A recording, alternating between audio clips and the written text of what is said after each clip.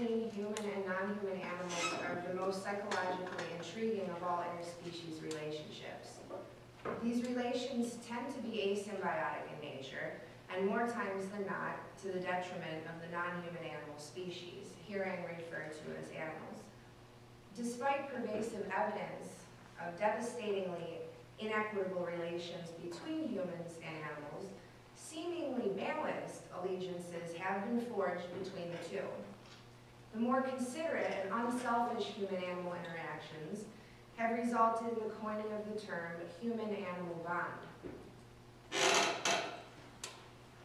The term human-animal bond is defined by the American Veterinary Medical Association, AVMA, as the mutually beneficial and dynamic relationship between people and animals that is influenced by behaviors that are essential to the health and well-being of both. In recent decades, attention has been directed to unveil the intricacies of the human-animal bond. An example of this is the recent emergence of anthrozoology, the study of human-animal relations. Yet following, yet following closely with historic custom and our species' tendency to exploit perceived vulnerability, anthrozoology has come to focus much of its consideration on aspects of the human-animal bond which have potential for the greatest human benefit. Not surprisingly, an entire industry has emerged surrounding human-animal interactions deemed therapeutic for humans and has come to be known as animal-assisted therapy, or AAT.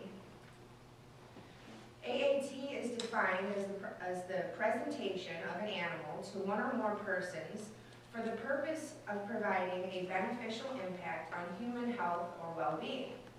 The AVMA states that therapeutic programs involving animals are, quote, designed to promote improvement in human physical, social, emotional, or cognitive function.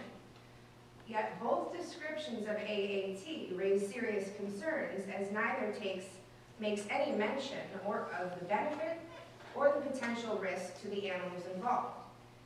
These explanations of AAT are grossly deficient in their failure to address or even acknowledge the ethical issues surrounding animal usage in therapeutic regime.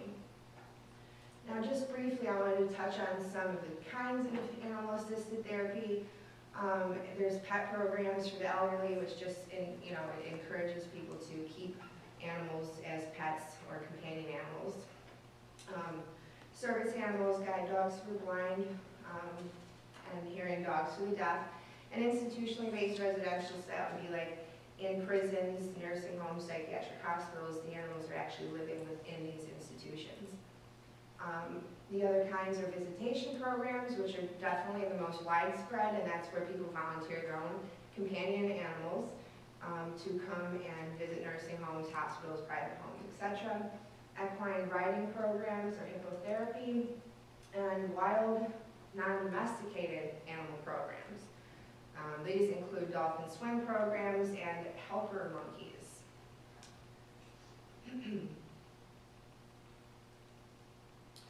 so companion animals, namely domesticated species of dogs and cats, provide obvious benefits for humans in the way of companionship.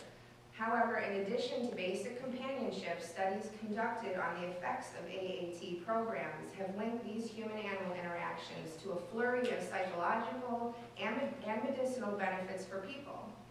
Some noted benefits include decreased anxiety, improved motor skills, increased self-esteem, and improved social interactions. Substantial cardiovascular benefits to humans have also been shown, including decrease in blood pressure and increased survival after heart attack. Companion animals also provide significant assistance in many crisis intervention and literacy development programs. The human benefits associated with AAT are unarguably numerous, yet we must not be so preoccupied with the benefits that we overlook our duty to the animals involved we are obliged to consider thoroughly the ethical implications of animal involvement in therapy and treatment programs. In addition to the seemingly scarce concern for the animals involved, as exhibited by the very definition of AAT programs, there appear to be very few guidelines regulating these programs. Those guidelines that do exist are, in the majority of cases, self-regulated and again emphasize a safeguarding of human welfare. Regulatory shortfalls coupled with the lack of in-depth ethical analysis within the actual AAT industry prove very troublesome. It should come as no surprise that devastating ramifications for exploited individuals, in this case of AAT animals, arises whenever and wherever profit stands to be gained. Animal abuse, animal fatigue, and accidental injury are just a few of the risk factors associated with AAT programs. Thus far, I've briefly discussed the involvement of companion animals in AAT programs, but the use of undomesticated wild species is becoming more and more prevalent. Dolphin therapy programs and monkey assistance programs are two examples of AAT which utilizes wild animals and are debatably the most, debatably the most controversial form of animal-assisted therapy. Now, capuchin monkeys are the most common primate used to assist the day-to-day -day activities of physically disabled persons. As protocol, primates used in AAT are forcibly removed from their mothers shortly after birth and placed into foster care until the time they're able to begin training as assistance animals, approximately six to eight weeks of age. The monkeys are trained using a variety of methods, which include sometimes include the use of electric shock. Some trainers have even noted that they use biting as a deterrent to bad behaviors since the mother in the wild would bite her offspring on the hand to show that um, a certain behavior should be discouraged. Now, primates serving in AAT capacity are also routinely undergo the extraction of all of their teeth um, rendering them non-threatening to their handlers. Now these are just some pictures of the capuchin species in the wild. Um, and you can imagine they can swing and spend time with their families and learn all about what their natural behavior should be. But unfortunately, when they're taken away from their mothers, they have a very different understanding of their reality and who they are. And it's very confusing, obviously, for them. And some of them are even lucky enough to end up with people like Justin Bieber. now this is the, this is like the facial profile of uh, a capuchin, and this is what they can do even after their teeth have been removed.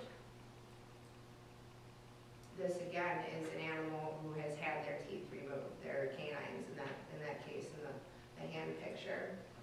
And so this is the procedure that they do to remove all the teeth. And that's a picture of what it looks like when all the teeth have been removed.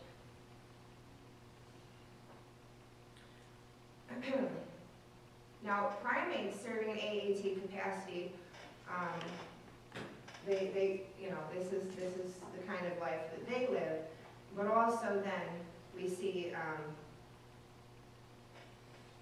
I want to briefly talk about, oh sorry, how do I go backwards? I want to briefly talk about um, the, the, dolphins that are used. Um, Marc Bekoff um, noted in, in, a 2000 um, piece that he wrote that captive, cap captive dolphins having repeated encounters with humans have enlarged adrenal glands in indicating high levels of stress. And the adrenal glands are, of course, the ones that produce the stress hormone, cortisol. The graph to um, the right shows the actual levels and the, the difference in the weight of these glands. So at the point of death, um, many of the, many dolphins used in these programs have been necropsied and their adrenal glands are actually like double the size of a normal dolphin living in the wild. so it is of vital importance that we reconsider AAT programs taking into greater consideration the ethical implications of animal usage and exploitation. Doubtless, there are animals who do enjoy interaction with humans, yet clearly not all human-animal relations are advantageous to both parties. At the very least, a concerted effort ought to be made to formulate objective evaluation methods which can be used to assess